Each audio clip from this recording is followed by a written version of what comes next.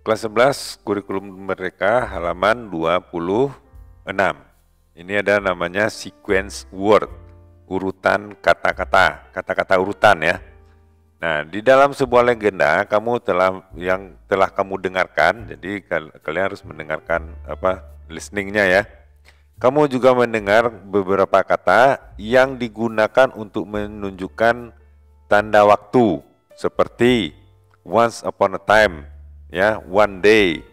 Suatu ini once upon a time ini suatu ketika, suatu waktu ya, atau bisa diterjemahkan dahulu kala bisa seperti itu. One day, suatu hari, tanpa menunggu lebih lama setelah. Nah, itu dia.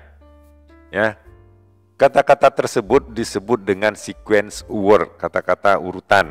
Nah, sequence word ini digunakan untuk membantu pembaca agar mudah menghubungkan kejadian-kejadian dalam sebuah cerita.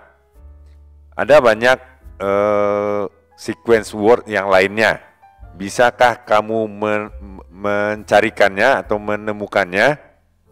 Ya, temukan dengan teman kamu, maksudnya temukan sequence word yang lain ya.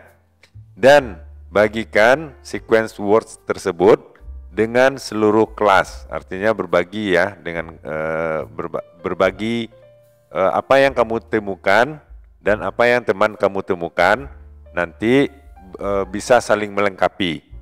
Nah, itulah untuk kali ini. Jangan lupa subscribe dan like videonya. Mudah-mudahan bermanfaat. Sampai jumpa.